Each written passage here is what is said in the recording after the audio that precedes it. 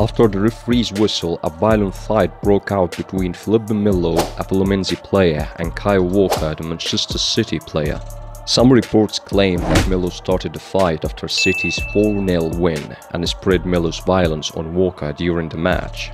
Melo didn't want Kyle Walker, but his target was Jack Grealish. In Melo's statements published by the Daily Mail, he said that Grealish was making provocative actions, and he used to say to him ole ole during the game, which is a word that bullfighters say during their taming. Melo said fans can say something like that, but not Grealish, it's not something befitting a professional player. And that was an insult to Fluminense. Jack Grealish posted on X and said he didn't say the word ole during the game. Melo's attack on Grealish is illustrated by this ironic video when Haaland played the role of Jack's bodyguard, certainly with the aim of ridicule.